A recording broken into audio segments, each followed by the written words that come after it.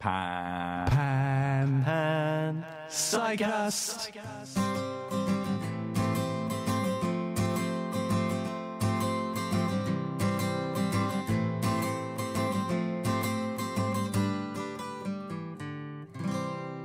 Part 2 Further Analysis and Discussion.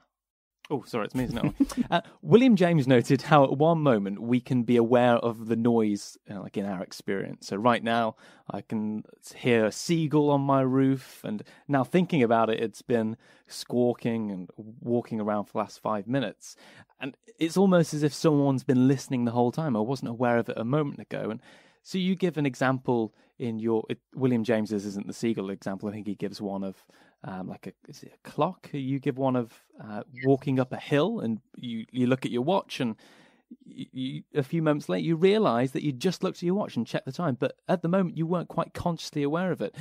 Do we have an explanation from psychology or philosophy for how we can seemingly not be aware of our conscious experience yet kind of undergoing it at the same time?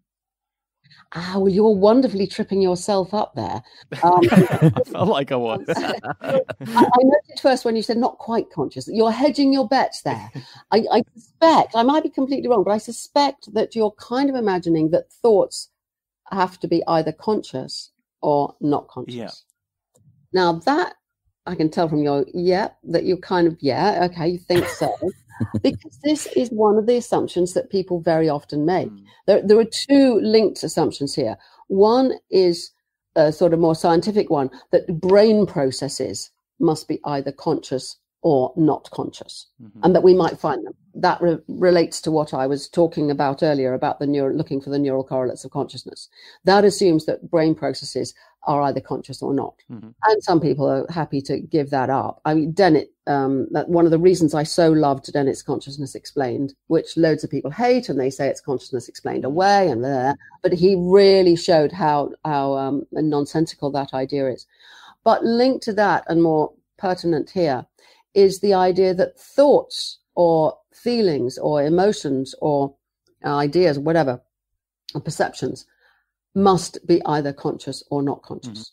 Mhm. Now, you can see where this idea comes from. I am sitting here now, and if I ask myself, well, let me ask you, are you conscious now, Ollie? Uh, yeah, I'm conscious now, Sue. Uh, are you conscious now, Jack? Yes. Were you conscious just before I asked the question? Feels intuitively so. Hmm. You're not absolutely sure. An interesting thing, and I got my students to do this when I used to teach mm-hmm. consciousness courses at university. I started giving them these exercises that I played with myself such a lot in the past, and it was fantastic what happened. So, the first exercise I would give them go away until next week's lecture, and as often as you can, preferably many, many times a day, mm-hmm. ask yourself, Am I conscious now? And what happens, as what's just happened with you two, people say yes. And they nearly always say yes, and some very sophisticated thinkers say no, and then you get into interesting arguments. But Mhm. mostly people say yes. But then the second week, they'd come back and talk about it and tell me how hard it was to remember, and they didn't do it. And I'm saying, "Mm, it's not like writing an essay. You can do it when you're walking along the street. You can do it when you're cleaning your teeth. You can do it anytime. Why don't you do it? Mm. Mm, yeah, it's difficult thinking about consciousness. Yes, isn't it? Well, Mm. get get your act together, student. Think about it every moment of the day. Am I conscious? you know. Anyway, the next week would be: Am I conscious now? Was I? What was I conscious of a moment ago? Mhm. And that flips you. And I had quite a lot of students who would go, "That was so weird," because I really didn't know we make there are there are two questions there. One is were you conscious a moment ago, and the other one is what were you conscious of. You can use either, and they have slightly different effects. But the point that I'm trying to get at here is actually very important to the way I think about consciousness, which might be completely mad, which is whenever we ask about consciousness or make ourselves think about it, which and, and, and mindfulness is one way of doing that, but that you know that's another story, but it, it's very similar. Whenever we do that, we kind of collect a whole lot of stuff together and go, oh, this is what I'm conscious of now. And the contents of my consciousness are these two screens in front of me and that um, house plant behind them and the lamp and that, you know. But that in itself is an exercise in doing something. And I suspect what's happening in the brain then is bringing together current perceptions with the self model, the body schema, the self schema, and so on, and going, oh, I, I, this mythical internal being um, who's in here, am conscious of that tree thing behind the screen. Were we doing that a moment before? Probably not, because we were not absolutely mindful or asking, Am I conscious now at all? We were actually getting on with thinking about the question you're asking me and whatever it might be that we're doing. And this, to me, is a fundamental part of the illusion of consciousness. If I am right about this, then what's happening is something like this. The brain at any time, we know it's a massively parallel system. It is par- in parallel processing all kinds of different stuff mm-hmm. perceptions, thoughts, ideas, fears, worries, you know, blah, blah, loads and loads and loads of different things. Only some of them are connected up with a self model. Mm-hmm. And even then, probably only partly and for certain purposes. It's only when we actually ask, What am I aware of now? What am I conscious of now? that we pull stuff together and go, It's obvious. And that brings us to the false idea that consciousness is a kind of container that has contents right. and leads us to this continuity illusion that I was always conscious all day. Because after all, I can remember coming in here at quarter to um, 10 and thinking, oh, he'll be sending that email in a minute. I better get on with it. I can remember all those things happening. Mm. I asked the question, was I conscious of them at the time? I would say there is not an answer. It's not that I was, it's mm-hmm. not that I wasn't, that there is not a fact of the matter. Is not, there's not a truth about whether I was or I wasn't. Certain mm-hmm. thoughts were mm-hmm. going on, certain actions were going on, but this particular organism here did not ask the question, Am I conscious now? and give the answer yes, and erect an, you know, a whole story around it. So that is why I was coming back to William James. He he foresaw so much. He he he wouldn't mm. put it together in the way I do. And oh, I'd love to have. You know, they ask you who would you like to have for dinner from the past. Oh, I'd so like to ask him these things. he said about the clock.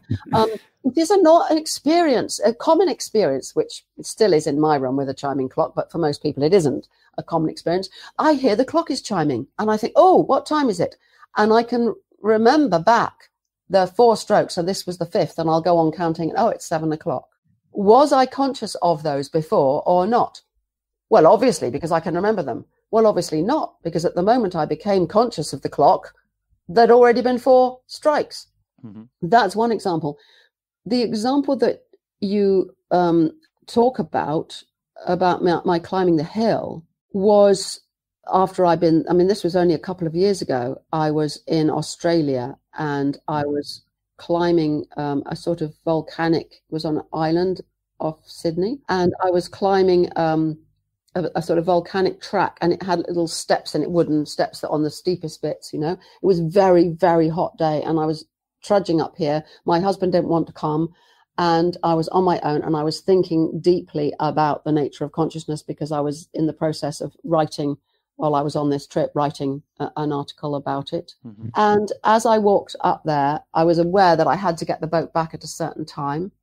And at some point, I, I my foot was going. I can remember it so well now. I can remember the the, the color of the dark um, earth and everything. And I lifted my foot and onto this step, and I thought, you know, am I going to be in time?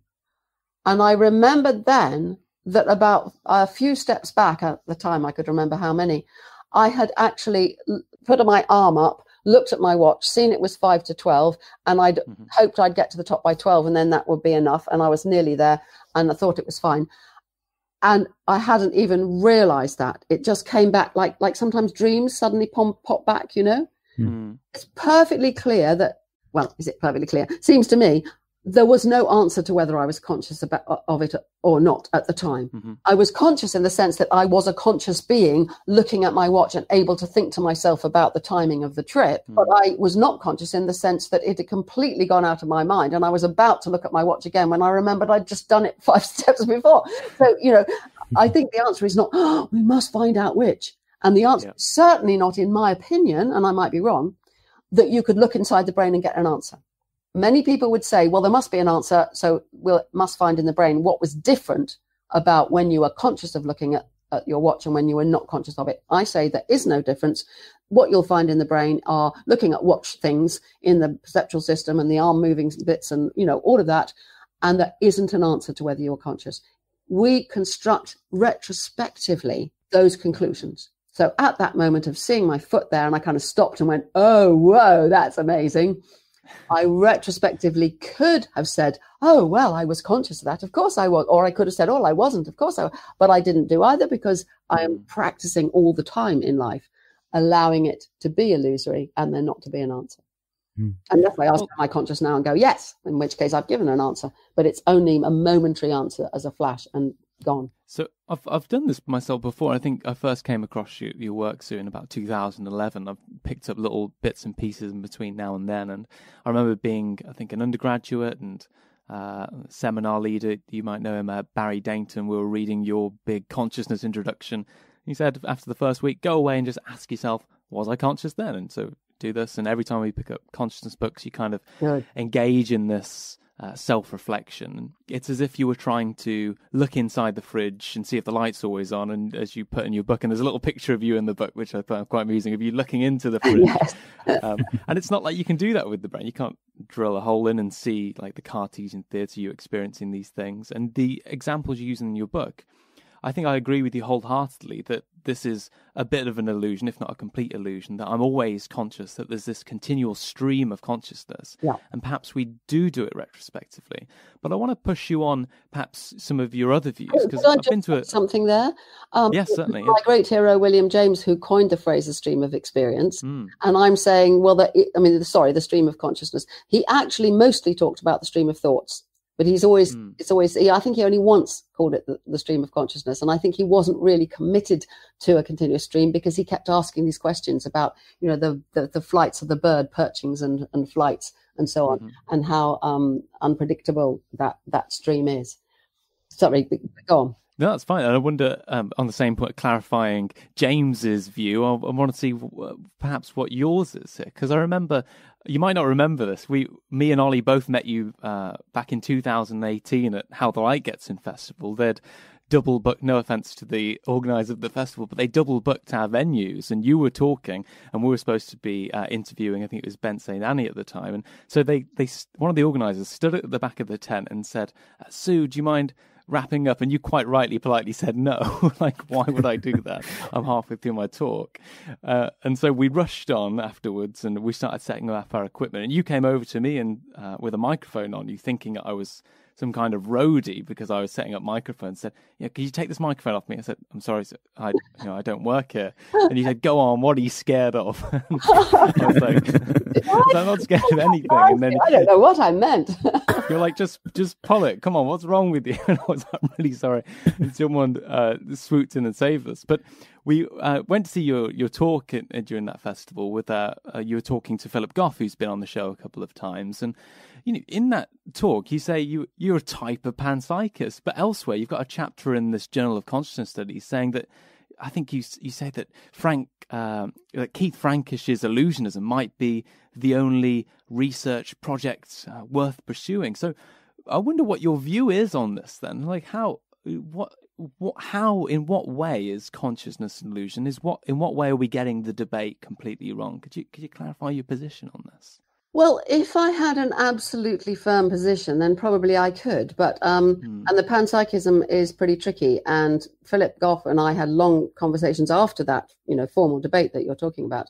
And we went Hmm. on and had dinner. Well, and dinner never arrived. That that conference was so chaotic. Um, we sat an hour at a dinner table when no dinner arrived. So, but we had, I mean, I was having a brilliant discussion with Philip Goff uh, about panpsychism, so I didn't mind, and we just went off and bought some food somewhere else. Um, but anyway, uh, that aside, We we should say that they've sponsored the show and they're absolutely brilliant. Their organization is fantastic. sorry, what did you say? You should say they've sponsored the show before, so we will say that they're absolutely brilliant with organisation and uh, a long time ago. Um, you started it with that story about the, the, the double booking of the room. Uh, anyway, yes, sorry. Um, so the, there are two things that you've asked me about there. One is what I mean about the illusions, and the other is about Hmm. panpsychism. Mhm. What I mean about the illusion of consciousness is not that I have an answer to the problem, but that it seems to me that we keep getting lured into the hard problem, which doesn't get us anywhere, gets us into all the kinds of dead ends that I've talked about already. And the, the fundamental illusion uh, as the Buddha saw and other mystics and so on have seen, is the nature of self. If we think there is a self that has consciousness and free will, we are wrong. There is not. The self uh, is a construction of the brain.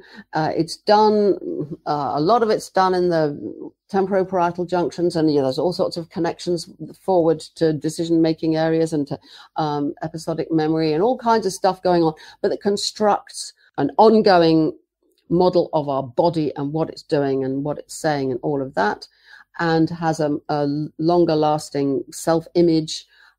And it's not, you know, it's just a bunch of neurons doing stuff.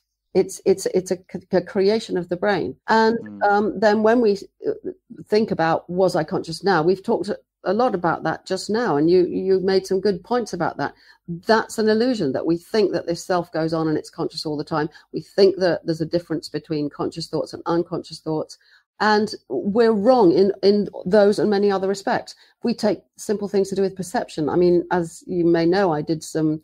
Uh, well, I did one the first ever experiment, I think, on on um, uh, change blindness, and I was fascinated by that because people think that they would notice changes that we can then show that they don't notice. All Mm. part of the, another kind of illusion that we think we have a continuously present uh, representation of the world when probably uh, we only have snippets of, uh, uh, of the bits that we're currently attending to, and then they lead to a story and uh, a, an illusion of, of, of presence. It's an illusion in the sense that well there is a tree there. I mean if we believe in an external world there is a tree there but i have the feeling that i'm seeing the whole tree at once when i'm looking at it. But in fact if we see what's happening in the brain you know there's attention going to little bits here and there and so on. And out of that we make the story and we put it into a kind of illusory sense of time and we build up a false idea of who we are and what we are Hmm. which is wonderful to me that this is coming out in neuroscience and philosophy as well as in mystical traditions um, and in, in particular in, in zen which has it sort of to me the, the, the clearest version of that um, so that's the illusion bit but what about the panpsychism well you know this comes back to what we were talking about um, you asked me about evolution and the function of Mhm. consciousness now if it isn't separate and zombies if, if zombies are not possible and consciousness didn't evolve for a function like other attributes we have, what the hell is it? Hmm. Well, then, you know, then you're really stumped. I will not go the way of, um, you know, I do a lot on near death experiences and I talk a lot. I did a podcast a few days ago um, uh, uh, about that with lots and lots of people who um, genuinely believe that the astral body leaves and goes to higher planes and, and, and all of that kind of thing. And a lot, a lot of people who are basically idealists, they're not philosophers, so they don't call themselves that, but they, but they would say they, it's consciousness first. Like, um, and then matter came later. Well, as you know, if, if you know, if you're a, a, physicalist or a materialist, which I am not, people always Mm. telling me I'm a materialist. I'm not a materialist. um, if you're a materialist, you can't understand consciousness, and I don't. um, that doesn't make me a materialist. Um, and if you're an idealist, you can't understand matter. I mean, I'm being very crude, but that's because I'm not a real philosopher. So, what, are, what other possibilities have we got? Now, one thing that is very clear to me, both from a logical point of view and from an experiential point of view through meditation and so on, is all we have is experience. I mean, everything I know about the supposed physical world is from books I've read, and you know, the, we have no contact with any physical world other than through experience and like Mhm. talking to other people and their experience that they tell us about, and so on and so on. But does that make consciousness first? I mean, then then how do you deal with the fact that we agree about the physical world, um, and that you know this chair is holding me up, and and and so on. So you, you get in a in a huge muddle, and I flounder around in that muddle. But one thought is that is to try to make sense of uh, some kind of non-duality.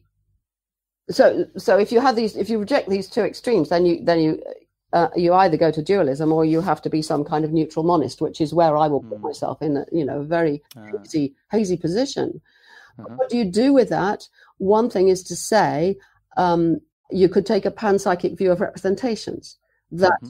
it's all about representations and when there's something in the world that is representing something else then it's something like it's like to be that because that's what a representation is a representation is describing something so this brain at the moment is is describing in the visual system that tree plant thing that i'm looking at there's something it's like to be that. What is it like? It's like the representation, what it says it's like, because that, you know, hmm. that's a kind of panpsychism that I could go with and think about quite a lot, but it, it's mm. tricky and waffly and, you know, doesn't solve all the problems. So mm-hmm. I think that perhaps answers your question of why you think I'm a bit weird mm. in, in, in countenancing a kind of panpsychism, but it's definitely not the kind that would say that every atom has a consciousness right. attached to it or something like that, because I think that's totally incoherent. Um, and um, uh, or, or, every stone or every object. Mm. But I, you know, all I can say is it's really, really hard, and I don't have answers. Maybe another thought experiment might help, Sue. So you, you gave us one earlier, so let's let's use another one. Um, Frank Jackson's knowledge argument, something that a lot of our guests have discussed in the past. You know, when Mary leaves her black and white room and sees a blue banana, does she say, "Aha, a blue banana," or does she recognize what blue is? What do you think? very, very hard one, isn't it? It because I, I mentioned earlier with respect to the other thought experiment that you have to take it seriously mm. uh, what the thought experiment tells you. She's in a black and white room. She's not colorblind. Mm. She's in a black and white room. Mm-hmm. So she's got a functioning visual system. It just hasn't ever seen any colors. Now she knows everything there is to know about color vision. Well, that's pretty tricky, isn't it? To set up a, you know, what does it mean to say she knows everything there is to know about color vision? You could say if she knows everything there is to know about color vision, then she will know that somebody who has never seen colors probably has a very poorly developed color system in their brain. There may be some um, uh, inherited tendency towards color vision, but you know, without the stimulus coming in from babyhood of different color, different wavelengths lights coming in and being processed in the, the, the, the way they should be, she's not going to have a, a very good color system. So then you could just kind of say, well, she won't really be able to discriminate them anyway. So the, it's a non-question. That's a way of getting out of it. um, obviously, the classic answers are uh, yes, because she knows everything, she'll see, she'll immediately not be fooled and she'll go, ha ha, you're trying to trick me, aren't you? Or, you know, the other answer is, um, no, she, she won't know because she's never seen blue. But I think it's like so many thought experiments. If you really take the, the condition seriously, uh, you realize it doesn't quite work. Oh, sorry, Ali. You uh, you last one here? Yeah, sorry, yeah, my bad. Um, so last I, question. For... Did I? I? I thought I must have said something terrible, or them. No, no, no, not at all. No, no. I was just honestly, I was just thinking about your answer and just completely forgot to look at the question. I so, could. I like to like to make. You should have. You should have asked me if I was conscious oh. now, and I would have said, "Aha, yes." Ah, but you've done it yourself, which is. so, so uh, last question. Um, you don't say this explicitly, but it seems as though the issue of free will in the self are deeply tied up, if not subsets of consciousness. If you think that consciousness is a delusion, is it also the cause that we're deluded in believing in the free individual self? Yes, absolutely, and you're you're you're spot on there. I think those two problems are absolutely intimately um, uh, tied together. I'm having a very long lasting to and fro by email with Dan Dennett at the moment because I so fundamentally disagree with him about free will and about political implications and, and, and so on and so on. Uh, and I'm one of the things that I keep that, that we're working on at the moment is he, I think, thinks that free will is the same as self control. And I would say self control is a real phenomenon. There are people with lots of self control and people with hardly any mm-hmm. self control and people with strong will uh, and people with weak will. Um, these are all meaningful things and we can measure them, but they depend upon your genes and memes and upbringing and environment and everything else. The person with, with um, good self control ha- has more ability to make sensible choices in various ways but they're not free. None of these none of these actions or choices are free in the way that most people think. And here we have a real problem because we don't clearly know exactly what most people think. But goodness me i've talked to lots of people about free will and done lots of lectures on free will and asked people questions. Um, and there are some evidence about what people think. And my impression is that most people think, as I used to think about free will, that I have free will, that I am the one who mm-hmm. decides. So, of course, it's intimately linked up with the nature of self. Now, if the self is um, a soul or a spirit, you know, you can tie free will to that all you like. But if you see the mm-hmm. self as as a, a, lot of changing structures in the brain that are coming and going for different purposes and expanding and contracting in their uh, their reach over the rest of the brain and so on, that is also not free in the sense that it's not free of all the processes going on internally and externally. Uh, and so they are both they're both intimately linked. And why I would call them both illusions is not to say that people are stupid, to, but to say that it's illusory. Like when you look at some visual illusion, you can't, you know, it's it's hard to, mm. to, to see through it. Mm. But they're illusions in the sense that we reify them, we reify the self and give it the power of consciousness and of free will, and mm-hmm. it doesn't have that freedom.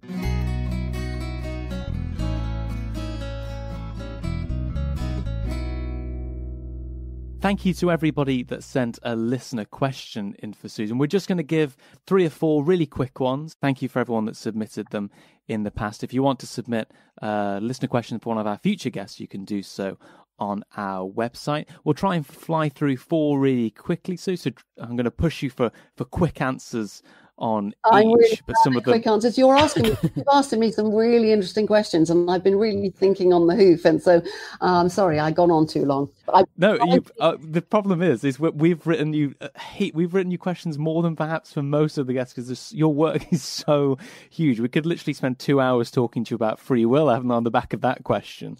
Um, but unfortunately, we have made a rod for our own back, really. well, I will try and answer these few questions the best I can. First question, I think, is from John Defoe from France. I love Susan's work on memes. Thanks for the opportunity for a question. Um, please ask Susan what she thinks about Jordan Peterson's attack on atheism. For context, he told her she wasn't really an atheist because she writes books. It seems like utter nonsense, but Sue didn't really reply to Peterson. Does she still also think he's talking nonsense? Oh, what a complex and difficult man. And terrible things have happened to him now. He's in rehab, and oh dear. Yes, that conversation I had with him, which is online, was very, very difficult.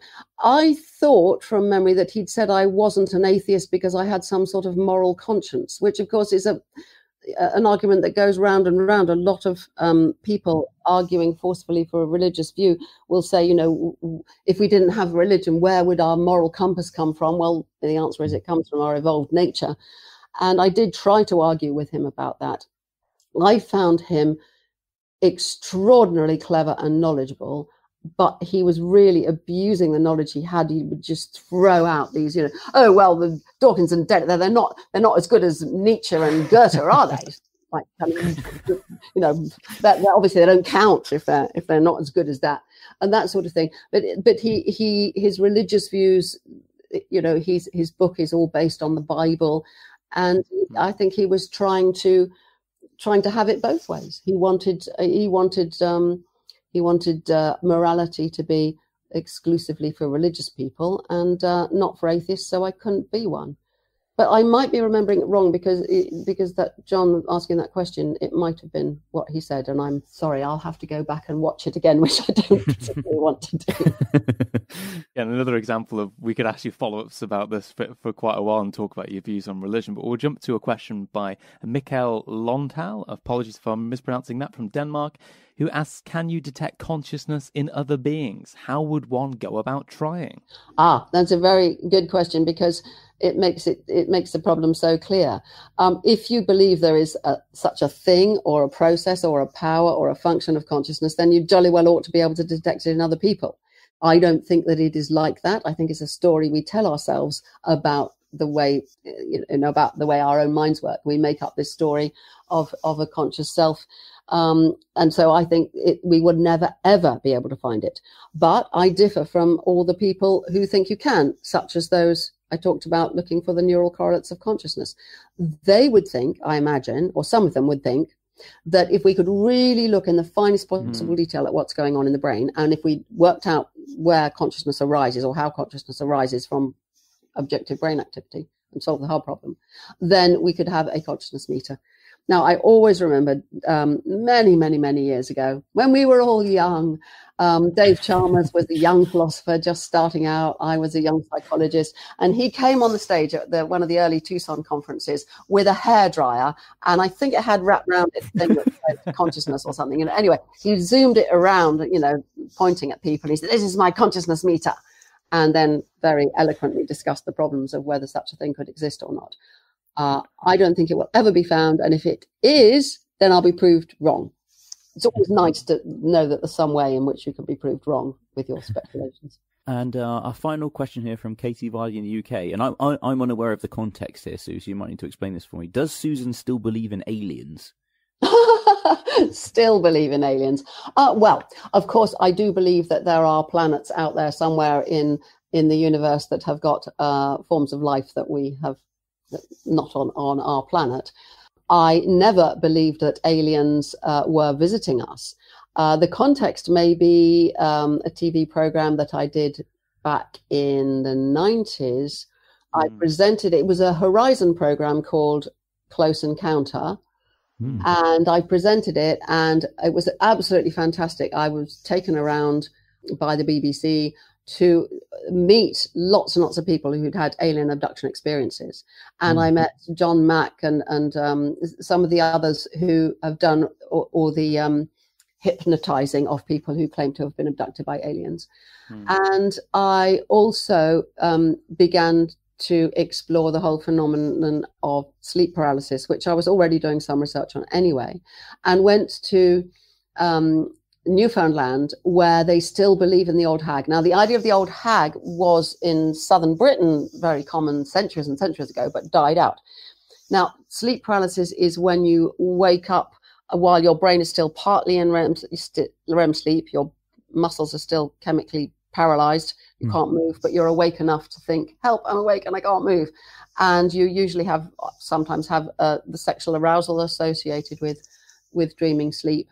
And it, it can be very frightening if you don't know what it is. And if you try and breathe, your breathing is under automatic control. So if you try and breathe yourself, you can't. You can't take over the automatic. And so you think you can't breathe. So you think something's squashing your chest. And this is the old hag who sits on you and squashes you. So it was great going and meeting all these people who'd been hagged and all of that. Um, and my conclusion at the end of the program was that um, all these stories were understandable starting from people who've had sleep paralysis, and then mm. the whole, you know, American phenomenon of of aliens and and greys and in Whitley Strieber's book and all of that kind of stuff, um, uh, and then people being hypnotized and persuaded by false memory techniques. Um, deliberately or not, I think very often not. I think the hypnotists often mm. believe this. So I, I hope that nothing in that program or in the subsequent articles I wrote, and there is on my website a little section on stuff I wrote about aliens, there's a little section called um, topics, and under there you can, you know, choose aliens if you're interested. Mm. I don't think anywhere I said I thought they were really coming. Uh, around the concluding remarks, do you want to kick us off, Mr. Ollie Marley? Yeah, well, I just want to start off by saying thank you very much, Sue, for talking to us today about consciousness. Um, I found your book, you know, the very short introduction to consciousness, really brilliant. I think it's very concise. I think you explain the kind of key ideas in this discussion really well. Um, and if people who are not really too aware of this debate start there, I think they that'd be the best place to start in terms of you know looking at this topic. And it's been really great just to talk to you. You're a really engaging public speaker, and just to hear you explain these ideas ideas in person has been a real uh, pleasure. So thank you very much. Well, thank you, because sometimes I do these things and they're quite stressful and boring. Well, this is quite stressful because it's really hard because you've asked really good questions and you've delved into the things that interest me, but you've also kind of made me think, oh my God, this doesn't make sense. Ah, but then that's what I like in a way. So thank you. If you don't mind some more flattery, Sue, I want to thank you as well on behalf of all our listeners for you uh, discussing these ideas with us today. It's been an absolute pleasure speaking to you. And as Ollie says, uh, it's a brilliant book and we highly recommend it uh, to everyone. I came across your work, as I mentioned, first as an undergraduate. And I've, I've for, for seen a lot of your talks. I think you're a great presenter of ideas and you've done a great service to public psychology and uh, philosophy indirectly throughout your career. I think your work exploring the nature and illusions of consciousness and psychology are really illuminating to the problem. And I think philosophers of mind could benefit greatly by reading some of the case studies that you discuss in your work, particularly your work on things like OBEs and psychological afflictions and those altered states of consciousness that we haven't had a chance to go into. And I, will keep this short because I've got a history of going on here. So, in short, I think you you know you give us new ways and new perspectives on an incredibly important topic. And uh, so, what will I go away and think about? Uh, I'm not sure. Uh, you know, still about the hard problem. I wonder whether you give us a new type of approach to our misunderstandings and analysing the concepts that we so often take for granted in these debates. And I'm grateful uh, to you for that. You mentioned a moment ago that uh, the interview hasn't been boring. I'm grateful for that, but you might think we overstepped the mark here in our final segment.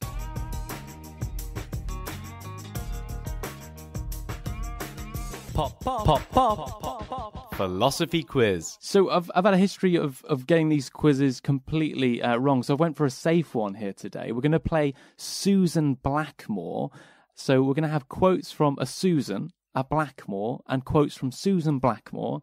And yourself, Sue, and Ollie have to guess who the quote is from. So you can have quotes from Susan Elizabeth Perkins, the English comedian broadcaster, uh, best known as one of the hosts of Great British Bake Off. You have quotes from Ritchie Blackmore, the guitarist and founding member of the English band Deep Purple, best known for their jam style hard rock, mixing guitar riffs and organ sounds. Uh, bonus question Does anyone know if Ritchie Blackmore is dead or alive? That's a I think he's still alive, maybe? He's still alive, yeah, yeah, he's 75. And Susan Blackmore, the British psychologist, writer, lecturer, and visiting professor at the University of Plymouth so you got to guess. Do you get? sorry, Susan, we sprung this on you.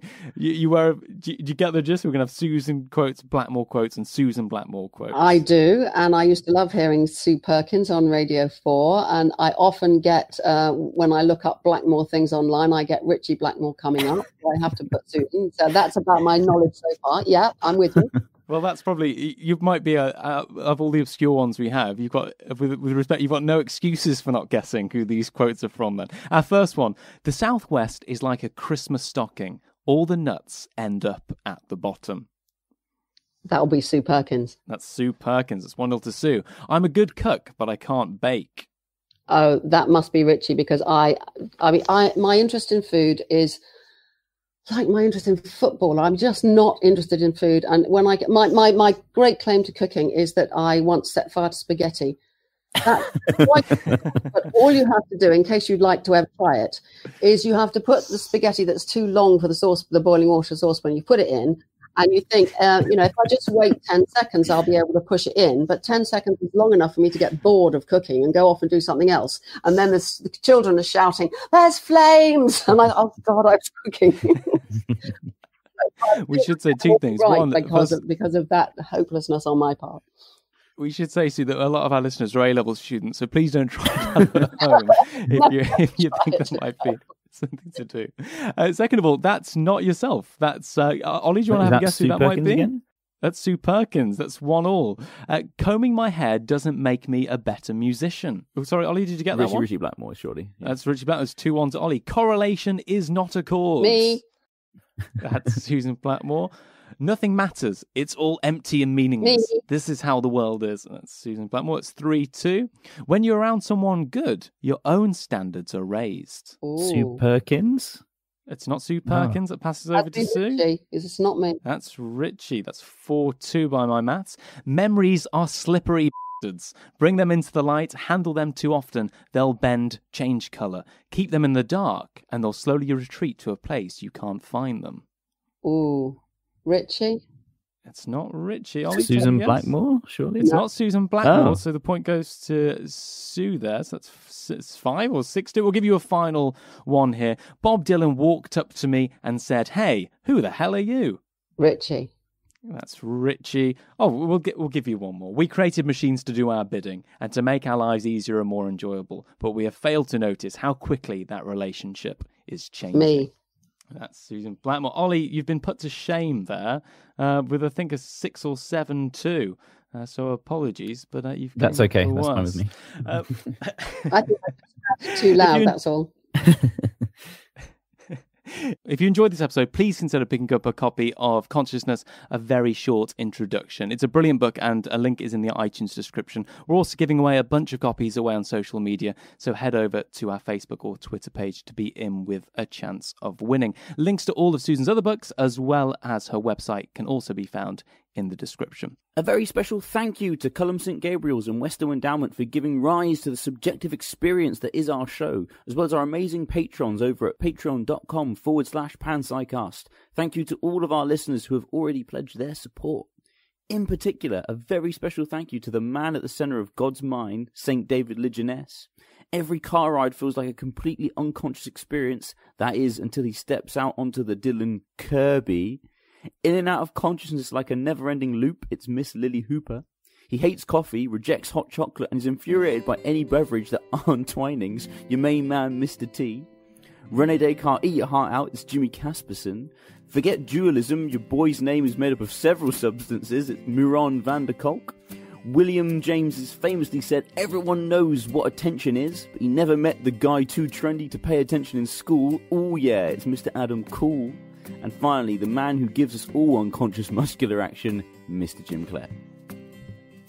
If you're enjoying the show, then please take a moment to go over to our Patreon page and consider pledging a monthly donation. Without your support, it's incredibly hard for me to fund my subscription to Aristotelian Essences for 21st Century Dudes magazine. I think that one was something. To all of our patrons, thank you for supporting the show. Thank you. You've been listening to the wonderful, soothing voices of Mr. Ollie Marley, Thank you for listening. Dr. Susan Blackmore, Thank you. and me, Jack Symes. Thank you for listening. Oh, wonderful. Thank you, Susan. That was really Yeah, good. it was. It was fun. I'm very embarrassed by the thought of this microphone business at Hay. God, and I was. I, I could have been so much ruder.